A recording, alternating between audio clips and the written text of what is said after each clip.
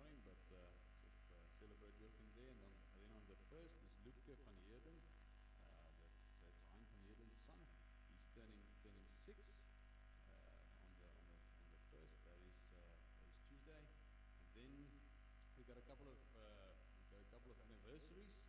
And the first one is it's on the third. The first one is George and, and Zilla Fortuin. They'll be married for for, for nine years on the, on the third.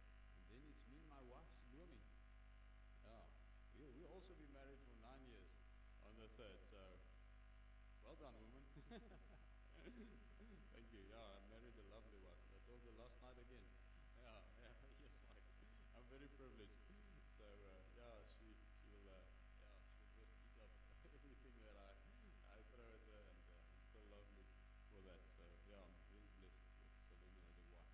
So we've been married for nine years, and uh, yeah, so next next year's a big one. So we'll, we'll look at something there. And then uh, then on the sixth is uh, Lucas Holshausen's birthday. So uh, we'll celebrate with him. So happy birthday, you guys. And then uh, the kids are down at Studio Seven. So uh, they're running their full program. The, the holidays are approaching, but uh, they're still going full steam ahead. So just want to remind you guys to take them down and pick them up after the service is over. The guys are doing a, a real good job down there. So let's let's support them in that way. And then uh, I think that's uh, that's all from me. Um, Lawrence will be bringing the word this morning, so I'm just going to pray for him. And then we'll sit down and we'll word together. So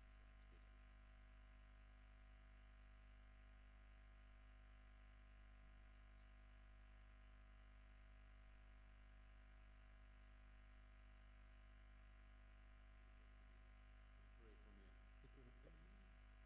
so, uh, yeah, Father, we, we bless you this morning, dear Lord God, just for your word, Lord God, coming in power, Lord Jesus, and helping us to, to align our thoughts, Lord God, to, to kingdom values and, and the kingdom life, Lord Jesus. And Father, this morning, Father, I just pray that you come and speak through your word, Lord God. We thank you for Lawrence, Lord God, uh, and the message that you've prepared in his, in his, in his heart, Lord Jesus. And Father, I just pray, Lord God, that your word goes out in power, Lord God. Father, as we as we sit under your word, Father, we pray for your spirit to come and work it into our lives, Lord Jesus. We stand um, knowing, Lord God, that your word is life, Lord Jesus. That we, we, we don't we don't live from bread alone, Lord God, but every word that proceeds from your mouth, Lord Jesus. And Father, I pray that you come and feed us this morning with, with some spiritual food from your word. In Jesus' name. Amen. Amen. Good. So I don't know if you realized it was very quiet this morning when you came in. And uh, although there's problems, I just felt that thing of sometimes we, we might even feel like we're in a, in a quiet, parched land, like we, we've got that quiet. And it's also a space where God speaks to us. So sometimes we get so used to the busyness and the hub and the, the buzz that we forget to just get quiet in front of God and just listen to Him as well. So it was maybe intentional as well. God has His ways of working with us.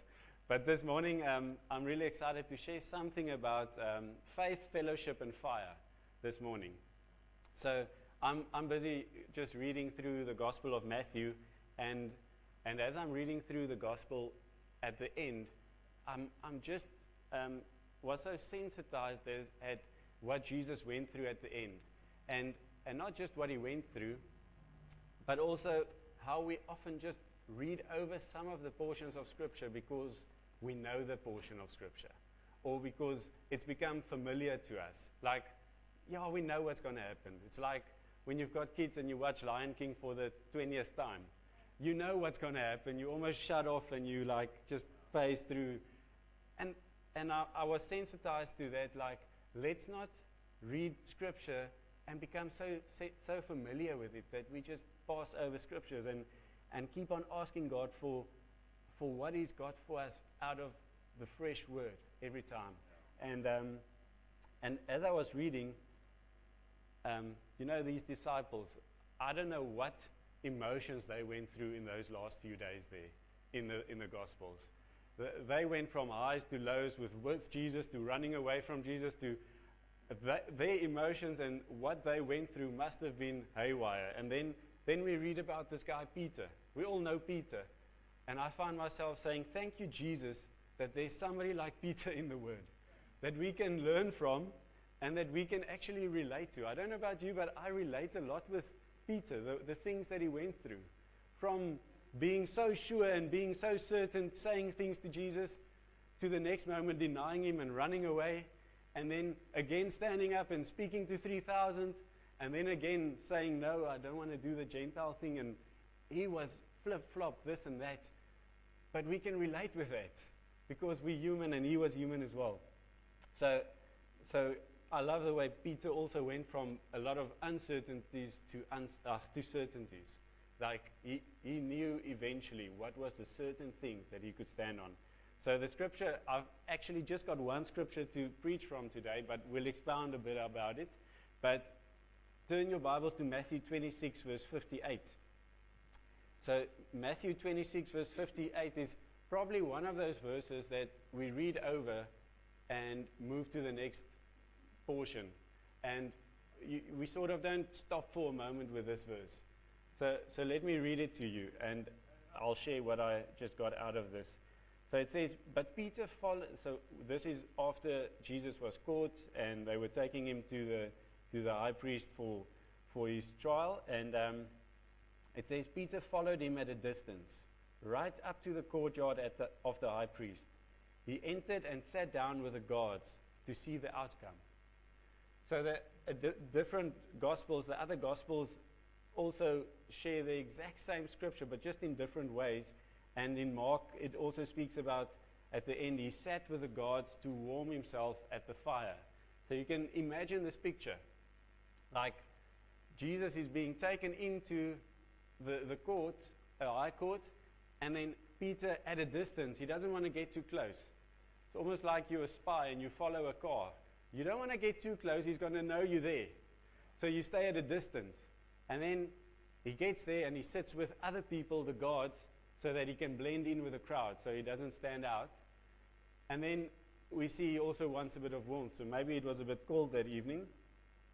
But from this scripture, I just got a few things because problems come. It's what's one of those certainties. Problems will come. And what do we do when problems come? Like Peter, this was a problem for him, and this is what he did. He stayed at a distance, he sat with the other people, and then problems for us might look very different. For some of us, COVID might have been a problem. For others, the economy is a problem. For others, work is a problem. For others, marriages might be problems. You see, problems can look very different to different people. So, so there's no one thing that we can say is a problem. It's going to be different things, but it's what we do when problems arise. So hopefully we learn something from, from Peter because we learn a lot of good things from Peter and we learn a lot of bad things from Peter as well. So this is one of those areas that we're going to learn from him. So, so I've, I found five things in the scripture that, that I want to just uh, open up a bit. And the first thing is when problems come, we don't want to follow Jesus at a distance. You see, Peter followed him at a distance from that moment. And when problems arise, especially when there's problems, we need to be close to Jesus. That's the time where need, we need to be crying out for help, saying, Jesus, help us. That's the time where we need to be pressing in with him and, and looking for his presence. It's not the time for us to then stay at a distance and hope things work out for the better. So if you anything like me, we, we tend to look like we, we tend to look at problems or, or something task at hand and we automatically evaluate the task. And you say, this is a task, yeah, I think I've got the, the capability, I think I've got the skill, so let's go ahead. Or otherwise we say, yeah, I'm not sure if I've got the capability, let me hang back and see if somebody else can do it first. And let me hang back and see if it doesn't just fix itself. We often do that, eh? And, um, and based on what we evaluate, then, then we only pursue this thing. So, so we, we like to just take a little bit of distance from a, from a situation. And, um, and I think in this scenario, Jesus was probably going through the most difficult thing in his life. And Peter, one of his right hand men chooses to stand at a distance and he chooses not to be with Jesus, almost, I want to say. Like you, you want to be with the guy who's going through something difficult like that. And then this Christian walk that we are in, it, it's not something that God wants us to walk alone. He wants us to walk with Him because only with Him is going to be the, the certainty of it. Um, just love the way that Jana shared this morning about faith. We, we live by faith and not by sight because it's exactly that thing. Peter was trying to, to see things first and see how it plays out before he's going to take a step of boldness and say, This is what I stand for. And this road of faith, this, this Christian walk, is not something that we can do just on our own abilities. So in Hebrews 11, verse 8, it says a well known portion of, of faith that, that speaks about Abram. And I love the way it says, It was by faith that Abram obeyed God when, called, uh, when God called him to, to leave home and go to another land that God would give him as an inheritance. And just see that last bit. He went without knowing where he was going. Like, what? Abram didn't know where he was going. Like, pack up your things and go. Where, God? No, I don't know yet, but just go. Like, no, God, I, I have to wait for the rain first. No, I have to wait. Where's the, where's the new place? Is there going to be schools for my kids? Is there going to be place for my cattle? And oh, none of that. He packs up and he goes. Without knowing where, he just goes. That's faith. And often we just want to remain in the distance saying, wait, wait, Jesus, if the economy turns, I'll, I'll maybe do this. If this happens, I'll do that. We've got a lot of ifs with God, eh? You know why Abram could do that? Because he had ro- walked a road with, with God that, that, that showed him God's faithfulness. And out of the history of God's faithfulness, he, he could obey God like this. Because he had seen God be faithful in the past, and it was easy for him to just do it again. Because he wasn't so much worried about the promise that was there, or the going, or the, the, the, the, what, what God said. He was more focused on God, who was the promise maker. And he trusted God, so therefore he can trust anything that God says. Yeah, I, sometimes we look at Scripture and say, God, what were you thinking with this portion? Actually, it's not about the portion, it's about God, and we trust God, therefore we can trust the Word. Whole Word, the whole counsel of God, not just the nice parts. So we can say that's about Abram. What about us? It's sort of unique. But Ephesians 2, verse 10, God speaks about very specific things about us. And it's addressed to us as believers. It says, for we are God's masterpiece. He has created us anew in Christ Jesus so we can do the good things He planned for us long ago. Long ago, He planned this road for us to walk. And not walk it alone, walk it with Him. And as we walk with Him, He's going to help us to grow, help us in faith. And He doesn't leave us alone. Um, I love speaking about the Holy Spirit because He comes alongside us and He does it with us. He's our friend, He's our counselor, He's our advocate, He's our Parakletos, the one who comes alongside and helps us. He doesn't want us to do this alone. He wants to be tucked in with us. And that's where our primary fellowship lies, is with God, with Jesus. We have to have our fellowship with Jesus first because before we can do anything else with anybody else. If I'm struggling to have fellowship with anybody else, I need to go look at my own life and my fellowship with Jesus. How am I doing with my fellowship with Jesus? Am I at a distance with Him? Or am I right up there, drawing near to Him? So Peter was at a distance. The next thing that, that stood out for me is when problems come, we don't want to come up to the courtyard only. The, he went to the temple and he came up to the courtyard only. So obviously there was law still in place there, and Peter just couldn't walk into the Holy of Holies. There was a curtain there. So that's a practical issue. But when you think spiritually about this, don't we often do that? When problems come, we only come to the outer court. We only come to the courtroom uh, a courtyard, and we never go in to the Holy of Holies where we actually access the grace of God. It's a, I don't know if you saw a statement like this, but somewhere in the lockdown, the Catholics actually made a statement that said during lockdown time, the Catholics could confess their sins directly to God for the season. but after lockdown, they had to go back to a priest again. How shocking is that? We've got access to the Holy of Holies. Not just once a year, every day, every moment. Sure, Jesus, help us. We don't want to just have permission every now and again to, to speak to you, to confess. And it's not just about the confessing. I think that's also the major thing that blows my mind. It's not about confessing, it's about relationship. If we only go to Jesus without confessing sins, then we're missing the plot as well. Then we're missing that relationship that He wants with us. So, Hebrews 10, verse 19 to 20. This is a lot in the scripture. It says, Brothers and sisters, since we have confidence, other translation speaks about boldness. Since we have confidence to enter the most holy place by the blood of Jesus, not by what we've done, how nice we were, it says, by a new living way he opened for us through the curtain. That is his body. You know, the curtain was there separating the Holy of Holies from, from us. But that's no longer the issue.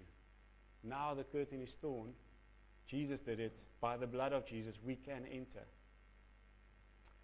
Then it goes on, and says, Since we have a great priest over the house of God, let us draw near to God with sincere heart and full of assurance with faith, that faith brings, having our hearts sprinkled to cleanse us from guilty conscience and having our bodies washed with pure water. There's a lot there. But we've got a high priest that is not like Aaron that would die. We've got the eternal high priest, and that's Jesus. He's forever going to intercede on our behalf, and he's not going to stop. We can enter with confidence, access the throne room of God for the grace that we need every day. But, what, but we settle for the courtyard. And I, I actually don't have a picture for this, but, but you know how the temple looked. In the middle was the Holy of Holies, and then just before that was the Holy, holy um, room, and there was the, the bread and the candlestick, and all those things were in there. And then where the priest would go in and do sacrifice, and th- then on the outside was the courtyard of the priest. Um, this is where they were. And fascinating, that courtyard had a few things in there. It first had the, the, the altar of sacrifice there. So that's where they would sacrifice the animal, sprinkle the blood. That's for the forgiveness of sins. And then from there they moved on to this, this brass, uh, bronze laver, this basin that was so shiny, filled with water. And the, the priests would have to go from the sprinkling of the blood, they would go there and they would have to wash their hands and feet before they could go into the holy place. Incredible picture here. As we draw closer to God, it's based on the sacrifice on the altar, which was Jesus, and it's based on the washing of the Word, washing of the living water, and that's how we enter the Most Holy. You know, the, the, the, the bronze laver, the basin, was also a type and shadow and a picture of, of a mirror that you go look into. So as you wash, you see yourself, you see your reflection. And it's almost like just looking at yourself before you go to God. It's like a reflection of who am I? And then realizing this is, I'm, I'm a child of God and I can go into this place. You know, the, the washing of the word, Jesus is the living water. It says, anybody who drinks from me won't be thirsty again. Just want to add in this context, anybody who washes with this water won't be dirty again. There's, I love the way it says it cleanses us from a guilty conscience.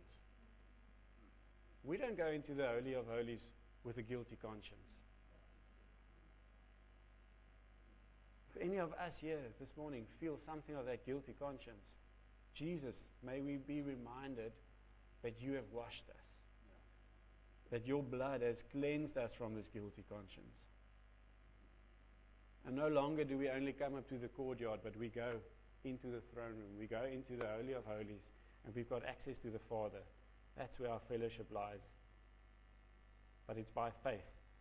So the third thing that stood out for me is when trouble comes, we don't want to see the outcome first.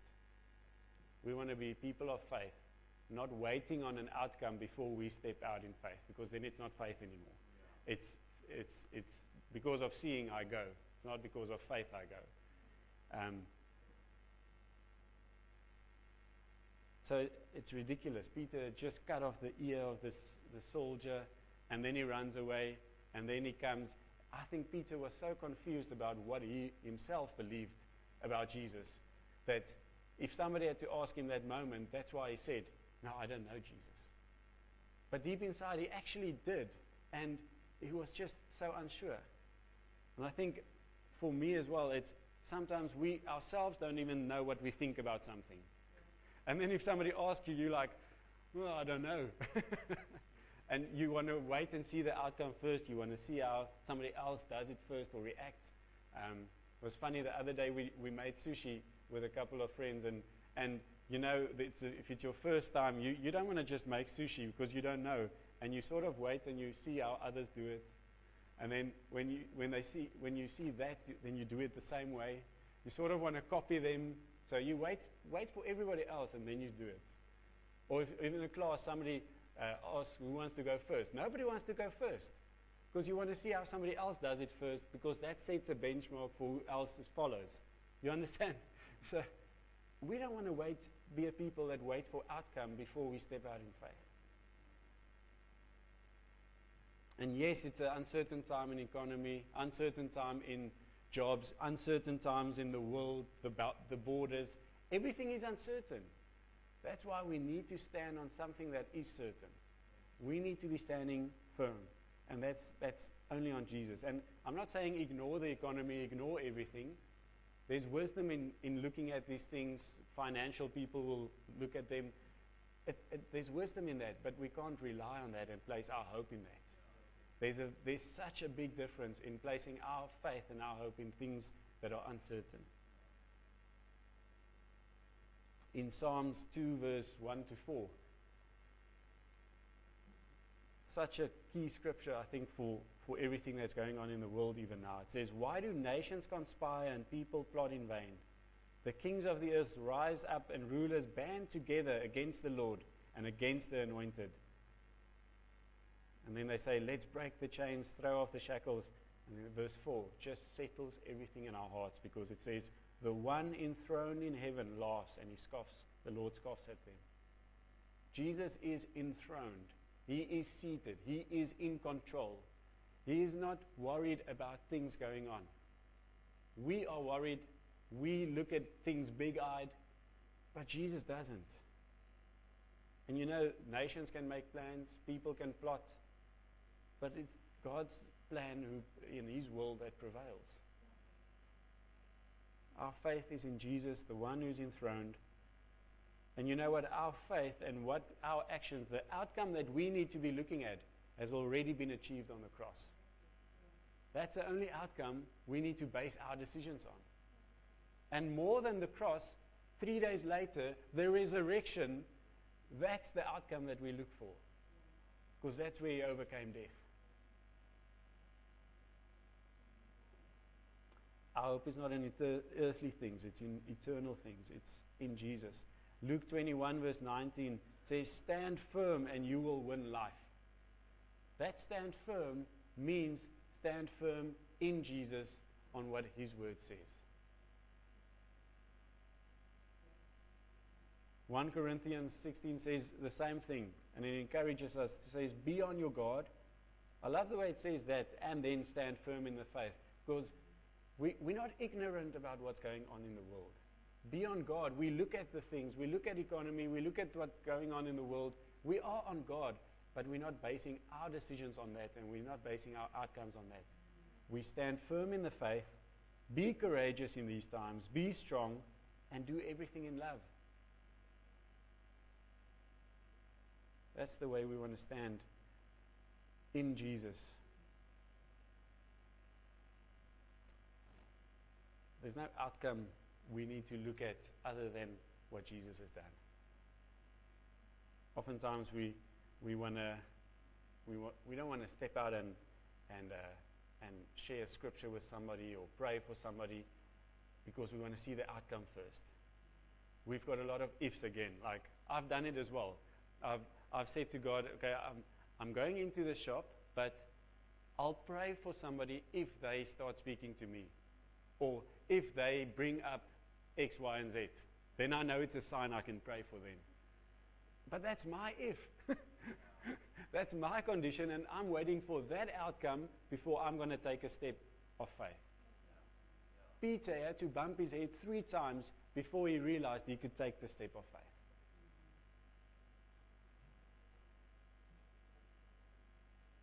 Next thing is when problems comes, we, we sit, we want to sit with Jesus. We don't want to sit with others.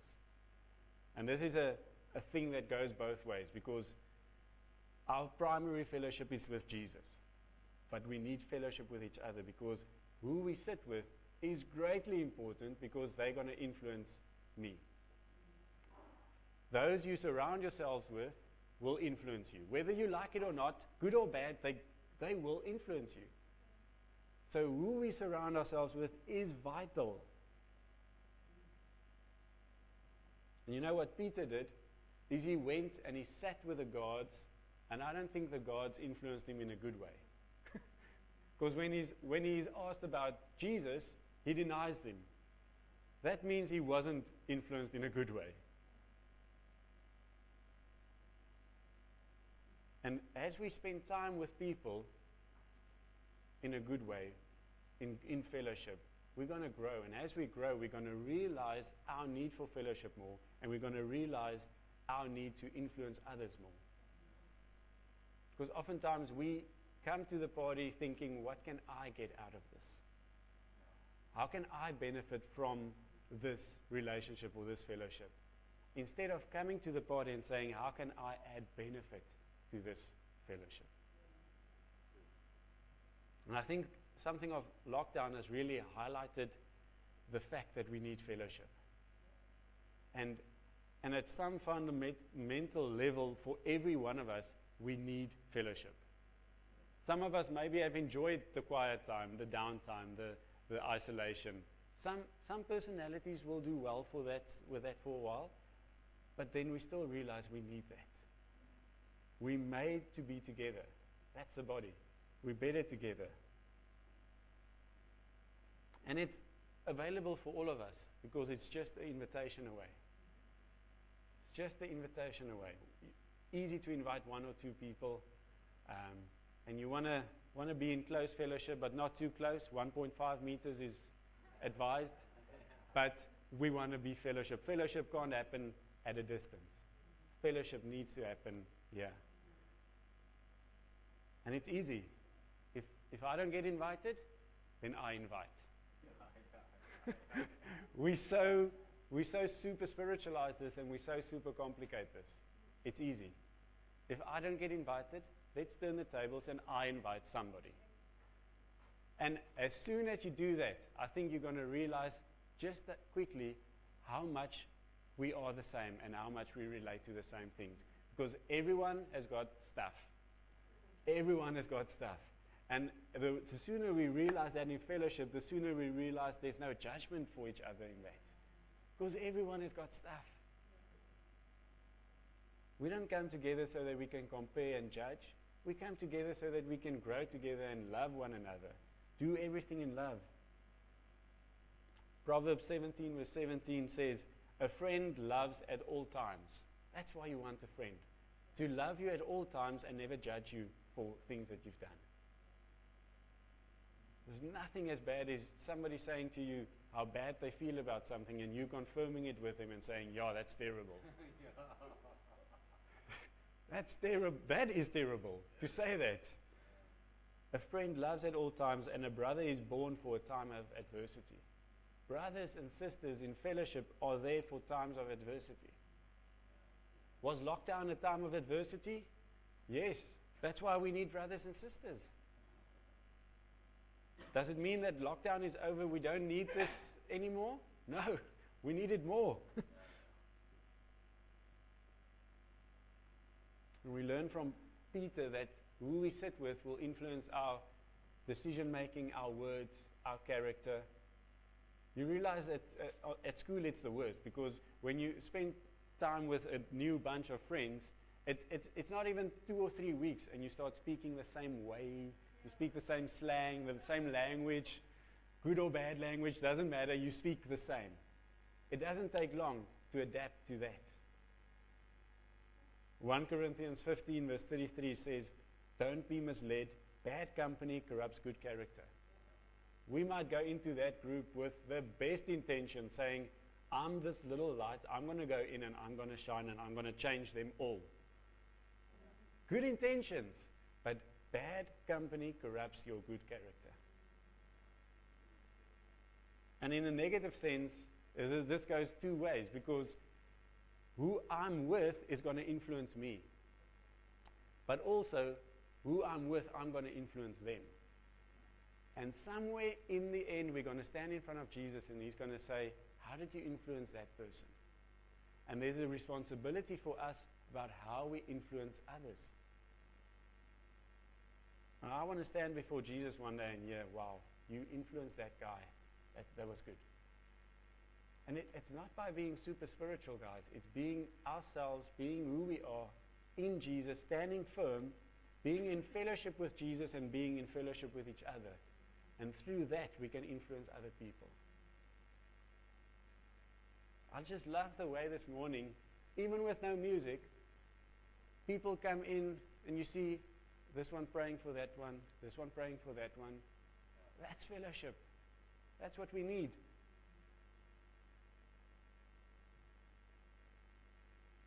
earlier this week, I, uh, it's not Q-Tex. Um, earlier this week, I bumped my nail in the car door. It slammed in there.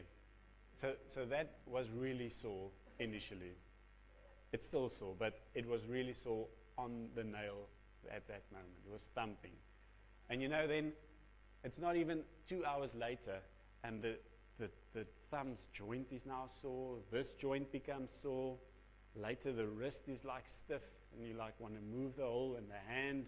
It's like everything is now stiff. It was just the thumbnail, but now everything is stiff. That's how the body works. One hurts, it influences the next one. And the reality is, friends, hurt people hurt others. Let's not be the hurting ones that hurt others. Let's be the good joints coming in and saying, hey, thumb, let's help you for the season and let, get you back on track again. I see this so often just with physio. You see it. People come in and say, No, a month ago I hurt my back. But now it's a month later and the hip is sore and the knee is sore. Everything is now sore because it's compensating.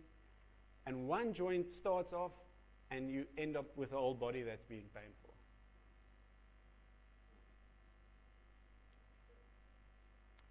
For the sake of the body and for His glory, let's sort out our hurts. I'm not saying there is hurt. If there is any, we want to sort them out. Because it's not for the helpful for the body, it's not for his glory. We need to be in fellowship, in relationship with one another. We need to allow one another to come alongside each other and, and help each other.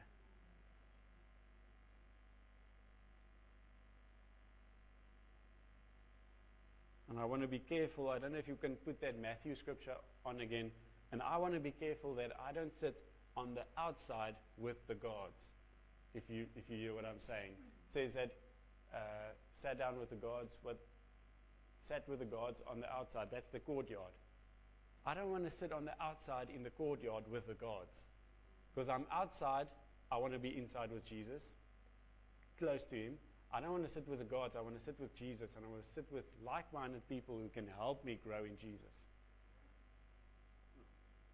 And it's not to say you can't speak to anybody else who's not a believer. Please, no. We, we don't want to be this holy idol. We, uh, this, the, one guy, Tony Seyfried, he leads a church in Joburg. He says he loves every now and again being around people and hearing a swear, swear word. Because then it means he's in the right place, he's with the right people to influence. He says he doesn't want to be with them the whole time, but he wants to be with them so he can reach the lost and the dying world. But he's there to influence them. But he goes back to fellowship because that's where we grow, so that we can go out and influence and come back and grow. And go out and influence and come back and grow. And then the last one is when problems come, I don't want to sit at other fires. I want to sit at the fire with Jesus. You know, the other gospel speaks about he sat with them at the fire for warmth. And I mean, sometimes we are cold and we need warmth. But we go look for warmth in all the other fires that is temporary and has got these short lived promises. And it won't last. We need to sit with the fire, with the body that's like minded people. Because when we with like minded people, we, we're actually adding fuel to the fire. You know that um, one coal on its own, one log, piece of wood burning on its own, it's okay. But add them together, and we can make this massive bonfire. And it's not to say there's not other fires, there is other fires. But when we commit to this fire, we can make this a big fire for Jesus. and there's earthly fires in a way, and they promise a lot of things, but that's the fires that won't last. And then there's the fire of Jesus, the church that he wants to be burning for him. That's the fire that we want to be part of.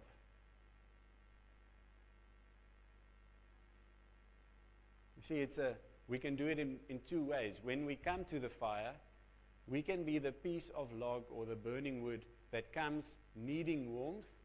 So then I come for the benefit of getting warmth from a fire that's already there. Okay? And that's necessary for some to get the warmth.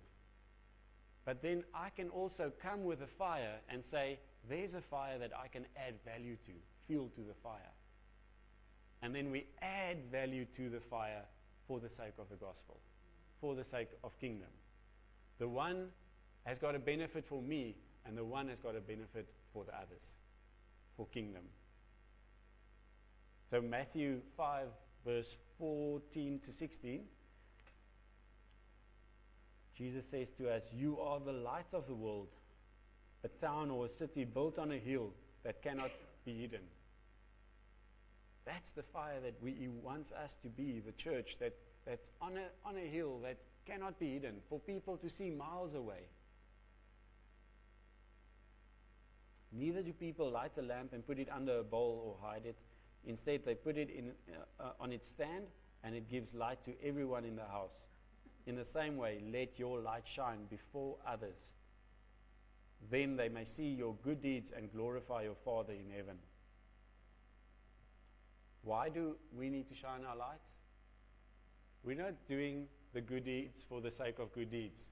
But again, it, it encourages us here to say, let your light shine so others may see it. Why? To praise you, to say, well done, tap me on the shoulder.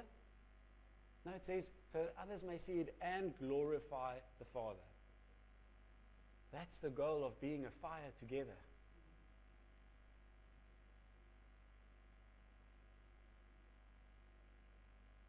And as as the church glorifies Jesus, the fire gets bigger and bigger and it cannot be hidden. I want to be part of that fire that raise my hand and say, I want to be part of this thing.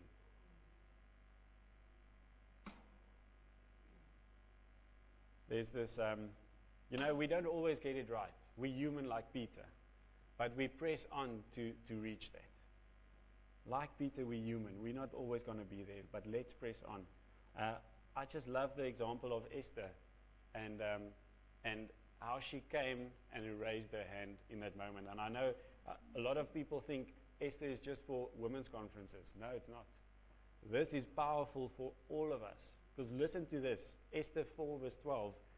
Um, you know, we know there was a problem with, uh, uh, they wanted to kill the Jews, and then um, Esther said, What can I do about this?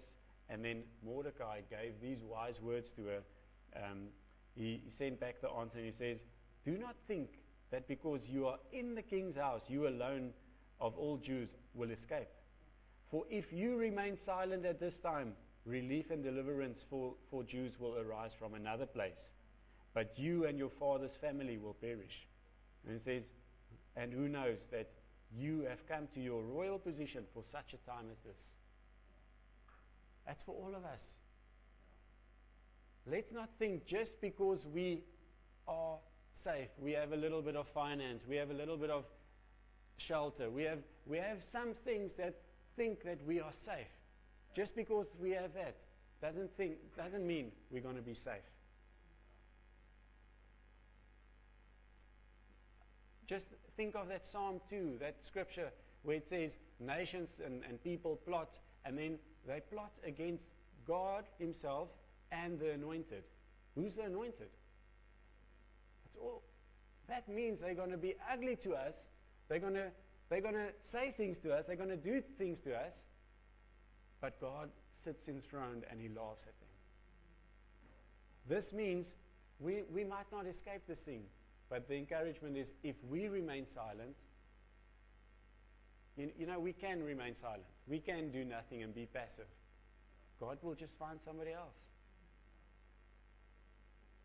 Somebody else, and we have missed out on the rewards in heaven in that moment. You know, somebody that didn't have a choice like this was Jesus. Imagine if he had become silent at the end and said, Oh, Jesus, uh, of God, I can't do this. When he said, if, if it's possible, let it pass, this cup. And it wasn't possible because there was nobody that could replace him. Help would not arise from another place in Jesus' case. With us, if we remain silent, God will use somebody else. But I want to be Esther that raise my hand, come to the party, come to the fire, and say, I want to be part of this thing.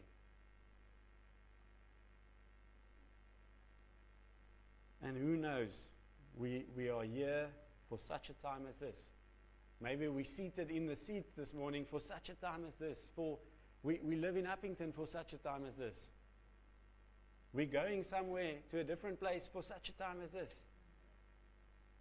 And we are in a royal position, all of us. It wasn't just Esther. This is a type and shadow of us being in a royal priesthood of believers. Who knows that we are who we are, where we are for such a time as this? God really desires us to, to live in fellowship with Him, in fellowship with each other. And it's done by faith. And that's, I think that's why I just wanted to say this thing of it's faith, fellowship, and fire. Yeah. When we live in faith in our relationship with Jesus, live in fellowship with Him, and the fellowship with each other, there's going to be a fire. It's sort of a natural evolvement. When there's faith, there's going to be fellowship, and with fellowship, there's going to be fire. Trusting for that. Just the last scripture to encourage us with out of Hebrews 10, verse 23. And it says, Let us unswervingly um, hold, hold unswervingly to the hope we profess, for he who promised is faithful. I just felt that for the season as well for us. We, we need to be focused on who Jesus is, glorify Jesus, and it has to be focused purely on Him. It's not swervingly. You know how a car looks that, that's just gone out of control, swerves this way and this way across the road. It's, it's not in control. You, you're not sure which way to go.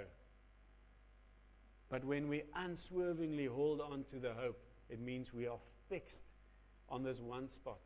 It's like men. We can be single tasked and we do that one thing. There's no swerving this side and that way. It's focused on Jesus.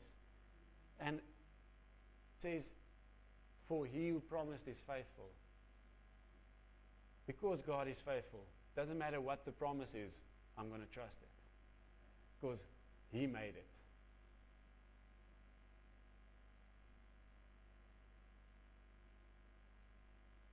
in this season, we need to be unswervingly holding on to Jesus, focusing on Him, and just the, I just want to leave an encouragement for us as well that that thing about invitation. It sounds so silly. If I'm not invited, then I'll invite. It's like if, if nobody has invited you, I'm trusting i- i- somebody will invite you. But if nobody has invited you in the next two or three weeks, then you invite somebody. Don't feel bad. Somebody will say yes. And if somebody is busy the first time, ask somebody else. Don't give up. we know some people, we, we're busy. That's fine. Keep asking, keep knocking. Somebody will come. And just um, this morning, praying for, for today as well, just felt out of this thing, um, this, this word of strong, strong and weak. That, that some people, even this morning, may be feeling that they're weak, that they, they need something of a refreshing. They, they're weak and they don't know how they're going to do the next, let alone month, this, this week. Like, how am I going to take on this week? I don't even see the answer for this week, let alone a month. And maybe if you're in that position of feeling weak, I want to encourage you that God says, when you are weak, you feel strong. You are strong in me. Just the strength that God wants to encourage us this week with, that it's, it's based on Him. And let's stand firm in Him because then we will win life. Just love the way Scripture makes it so clear. So I want to pray for us and just trust that we live strongly in, in our faith in Him, live in our fellowship with Him, primarily with Him, and then with others as well. And then just reminded of the fire that we need to be together. Yeah, Lord, I want to thank you, Jesus, that you are good. You are good even when we don't know, when we don't know what we're thinking, when we don't know what we're believing. You are still good, Lord Jesus. Lord, I want to pray that we step out in faith, enter and access the throne room with, with boldness, Lord Jesus. Because there we find life, there we find hope. And in you we find the grace we need, the strength we need for the very life that you've prepared for us long ago. Lord, I want to pray for each and every one of us as, as we even feel weak. I, I want to pray a strength, a refreshing of strength this morning. That, the, that there's, there won't be a relying on sight this morning, but a relying firmly on you, the promise maker, and faith in you. Thank you, Jesus, that, that you give your spirit, and I pray that your spirit just settles in our hearts now. That you love us, that you've got, you've got intentions and plans for us, Lord. In Jesus' name. Amen. Good, thank you, Lawrence. Um. Good, thank you, Lawrence. Yeah, what a great encouragement for us this morning. Um, always find that the truth strengthens and encourages us. So, so thank you for that, Lawrence. Salumi just has a word that he wants to share with us. So while Lawrence was sharing, um, I just got this word. It says, and God was just saying, "Speak out, speak out, speak out." And I just believe, just in line with what Lawrence said, some of us might feel weak this morning. Some of us might just feel like you're in need of something. There's, you've just got so much on your heart, and I believe God is saying, "Speak.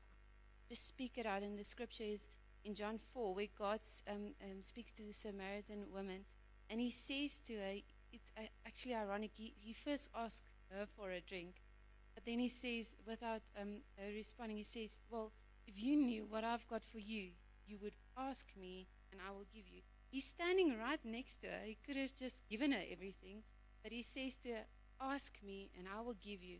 And I just believe God is saying, Whatever's on your heart, whatever you're thinking about, whatever this preacher stirred in your heart, ask, come out, speak out, and he will give. And you know, there's so many people here this morning. Speak out to someone. And I believe God's word says, He promised us, He will give. He says it. If you ask, I will give, and you will become fresh, will bubble with, with life inside of you. That's a good invitation. So, if there's any one of you guys who in that space, I think we'll leave some time for um, after we we are done here. So uh, we'll stay at the front and, and pray pray with you guys who can uh, relate to that word. And then uh, also, also, also Dirk has his last Sunday with us.